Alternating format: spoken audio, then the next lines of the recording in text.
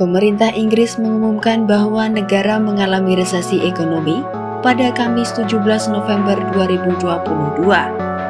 Inggris kemudian meluncurkan penghematan anggaran sebesar 55 miliar pound sterling atau setara 1 kuadriliun rupiah dari kenaikan pajak dan pemotongan dana belanja.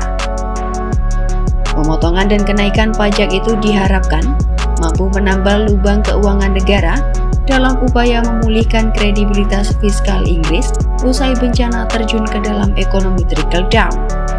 Sehari setelah data resmi menunjukkan inflasi Inggris meroket ke level tertinggi, yakni di atas 11% dalam 41 tahun terakhir, Menteri Keuangan Inggris Jeremy Hunt membuka era penghematan.